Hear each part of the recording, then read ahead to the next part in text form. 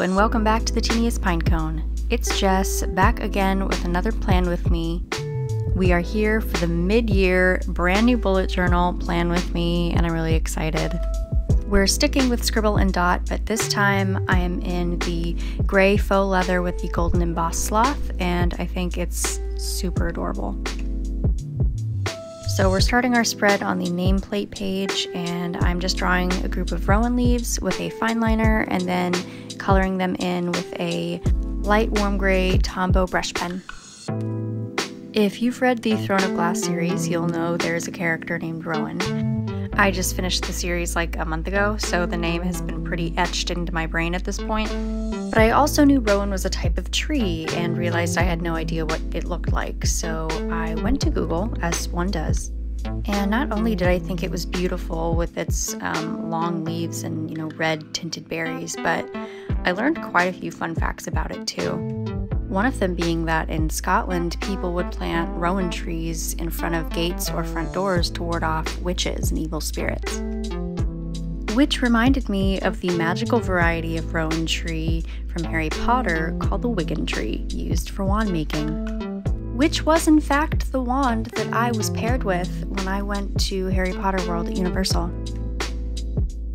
But magical wood aside, we have come to my grid spacing guide. This has come a long way over the course of the last two bullet journals that I've had. I've made enough spreads at this point to know what I usually use and go back to reference.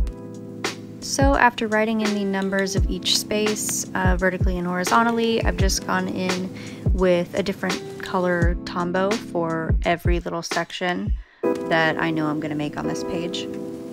I've broken it into halves, thirds, and quarters, and left myself a guide for when I know I'm going to fit an entire month on one page. And after filling in the rowan leaves with that same warm gray color, we are moving on to the next spread, which is in lieu of a quote page for this one, a 2022 themes spread, which I didn't do in my January to June bullet journal, but I thought this was a really cute idea. I'd never done it before and just kind of wanted to try something new. So while it looks naked right now, at the end in every box will be a little preview of the theme with the name of the month and where you can find it. Moving on to the future log, not much to explain here, it's a future log. I've drawn a couple rowan branches on either side of the header, and now I'm just drawing several clusters of these little berries that are common on rowan trees and using the fine tip of those same colored Tombow brush pens to write in the names of the month.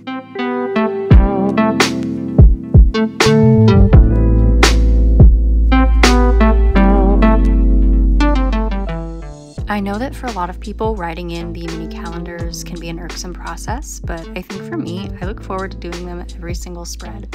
I think it's something about how uniform they look and being the one to enact that uniformity does something to my brain that I really enjoy.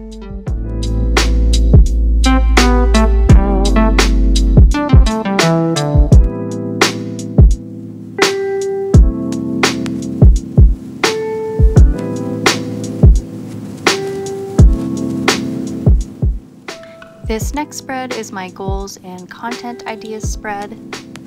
I'm really hoping to utilize this more in the back half of the year um, and create more of a schedule, not only for these videos, but for content just on social media in general.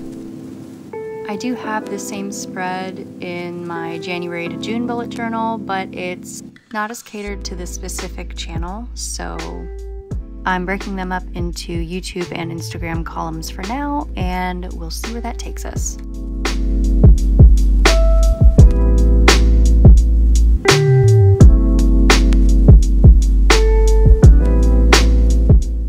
Next is my things to try or check these out, dude spread.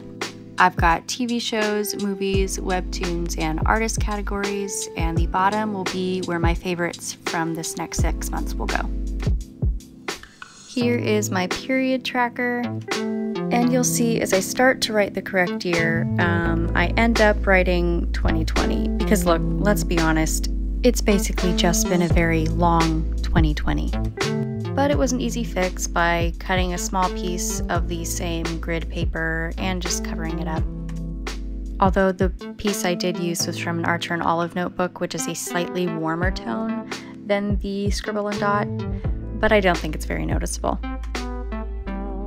I have also drawn the phases of the moon as they have been linked to menstrual cycles in the past.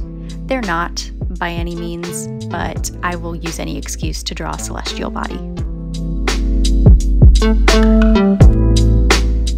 I started implementing this because I have really irregular periods.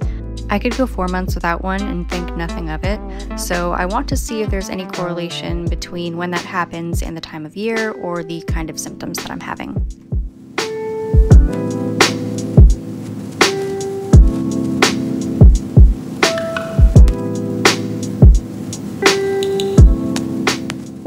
And the final spread is Life in Polaroids, which I took from Amanda Rach Lee. I thought it was the cutest idea. I don't know if it originated with her, but that's where I saw it. And if you're not familiar, you essentially just take a highlight or a favorite moment from every month and put a picture in its place. I have an Instax mini film printer, so thankfully I don't have to carry a camera around with me everywhere I go. I can just take the pictures from my phone whenever I'm ready and print them directly onto a blank piece of Polaroid film. And we are finishing it out with a couple more rowan branches, some berries, and using that same warm gray Tombow brush pen to fill in the leaves.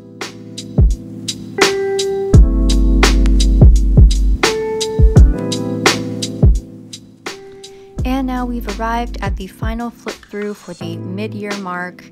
I hope you enjoyed it. July will be out very soon. And as always, all the supply links will be linked down in the description along with my Instagram. See you in the next one.